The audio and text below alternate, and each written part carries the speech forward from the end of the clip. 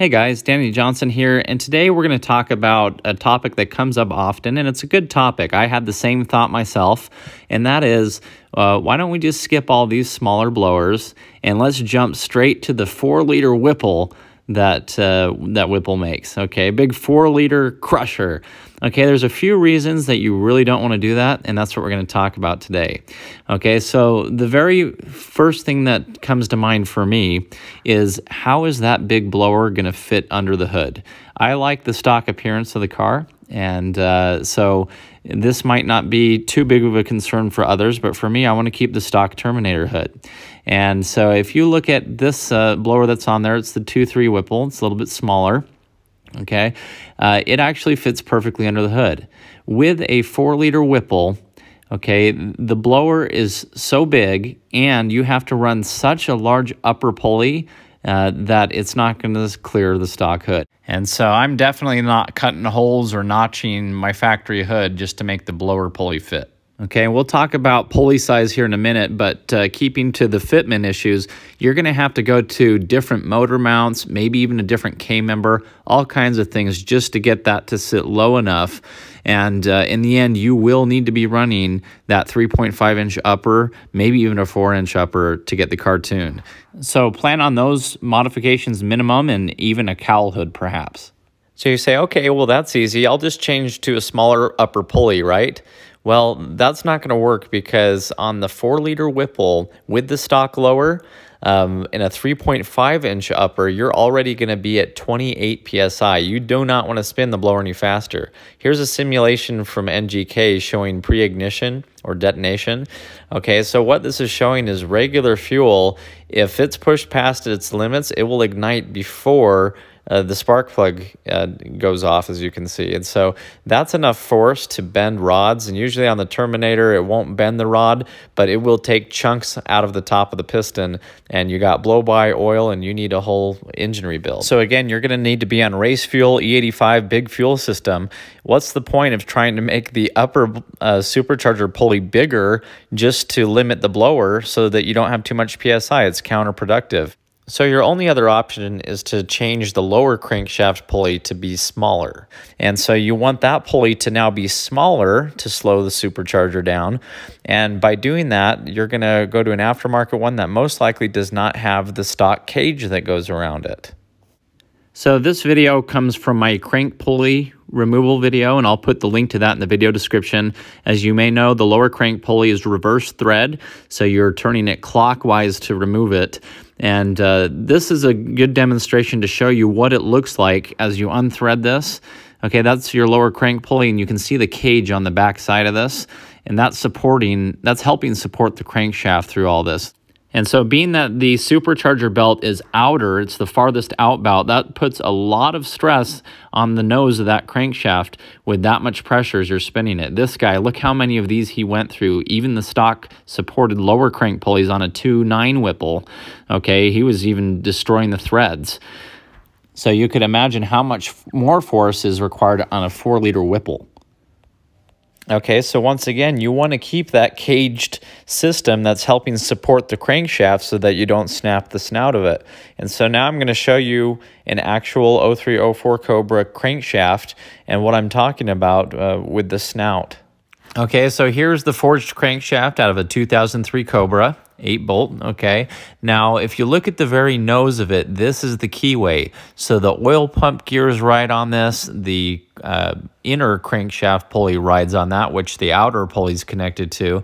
And so it's all riding on that little keyway. So as the crankshaft spins, you can um, imagine this is a, a upper pulley, but imagine the the bigger lower pulley as it spins it's all uh, relying on that keyway to spin everything so when you get a huge blower up top and you have a lot of pressure that's spinning right here on the crankshaft you can snap the snout and some people will go to a double keyway and so here's a picture of a double keyed crankshaft from an 0304 Cobra that was for sale. You can see the two keyways on there. And that's going to require modifying all the other parts too to accept a double keyway. And there's even controversy on that because if you look at that second keyway that's added, they had to notch it just to add the keyway. So there's thoughts that it might not even be very strong because you're compromising some of the integrity of it by cutting into it. Um, that's something major that you want to keep in mind is how much force it's taking to spin that blower with the snout of the crankshaft. Now the crankshaft itself is, is strong enough and you're making so much power turning this thing, but if you have it all riding up here on the snout, uh, the, the strength of that crankshaft will snap the snout.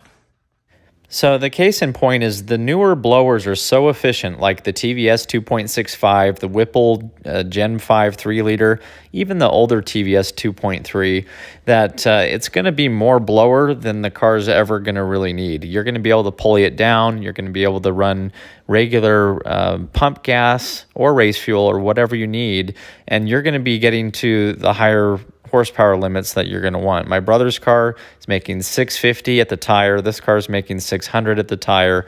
And that's about uh, the max that you're going to want to be at with regular pump gas. Okay, and you got to think about traction.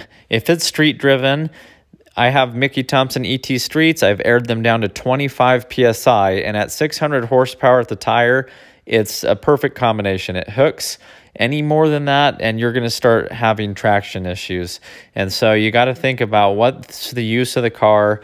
Uh, are you going to be putting a bigger slick on it at the track uh, or do you want it to hook on the street? Uh, you can imagine what would have happened. I'm going to show you a quick uh, clip over here. If my car was making a lot more power um, what would have happened? The car hooked perfectly as it was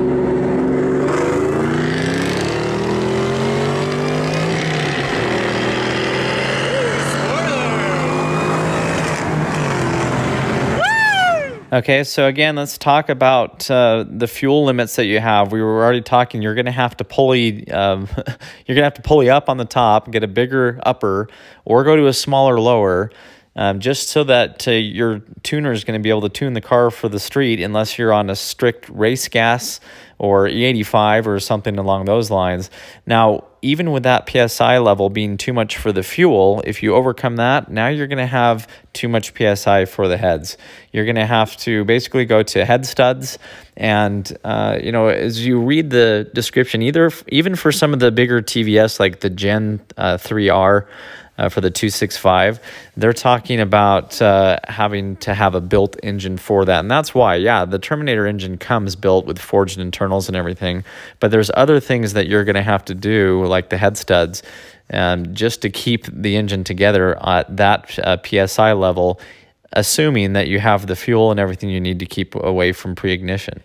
So yes, you can change pulley combinations, you can deal with belt slip, you can deal with tensioner problems, alignment problems. Okay, there's just so much that you that you don't need to deal with anymore by going to the more efficient smaller blowers that are now out. Okay, if you're starting at 28 psi with a 3.5 inch upper and a stock lower, you're going to have to go to headers and cams and all kinds of things just to bring the psi level down so that it's tunable uh, for regular fuel. And even with headers and heads and cams, you're probably only going to bring it down from 28 to about 25 psi, which is still going to be very difficult to tune with. That's too much boost for uh, regular pump gas.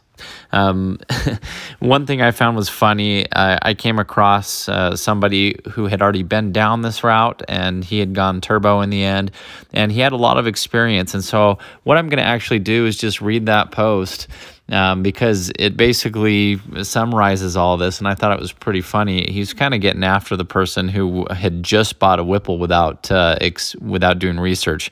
Uh, he bought a four liter Whipple, that is. So he said. Uh, if you did your research beforehand, you wouldn't have spent all that money. We're just giving you our advice. Read up on how many people moved uh, removed their 4.0 liter Whipple, including hardcore guys that street race and are at the track all the time. If you want big power, you need a turbo auto setup. If a 2.9 Whipple, 2.8 Kenne Bell Mammoth, 2.3 TVS aren't good enough and you want more, then you need a turbo. My shop doesn't even recommend 3.4 Whipples anymore. They built Snakebite. I even spoke uh, to other guys on here who work at other shops across the states and they don't even recommend these blowers. Most will say after a 2.9 Whipple, go turbo. All these big blowers need to be run with a high boost E85. Uh, the 3.4 Whipple even runs hot. The 4 liter Whipple, even hotter. When you read the uh, read the internet, nobody tells you the horror stories of these setups. It looks good on paper. Without tons of boost or a properly built motor, that uh, instant hit, you're not going to get it. My rule of thumb for twin screw is 18 to 19 pounds on pump gas to make them run right. Uh, these are with the 2.2, 2.3, 2.4 liter blowers. Uh, can you get away with it with a 2.8H Kenne Bell? Sure. The Mammoth, waste of time. 2.8 and higher, I go straight to 20 uh, plus pounds E85 or race gas and then you get that violent hit, the car will run hard. My 2.9 is set at 23 pounds. I will not run it any lower. So, anyway, there you go from somebody who even has more uh, experience than I do on swapping on all the different blower setups that they've had.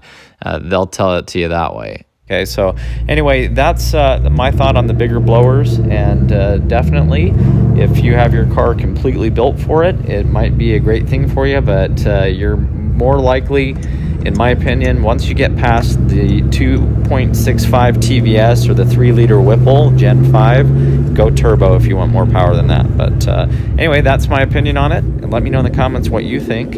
And as always, thanks for watching. If you're new to the channel, please subscribe. And if you're already following the channel, please make sure the notification bell is on for uh, updates on the newest videos. Thanks for watching.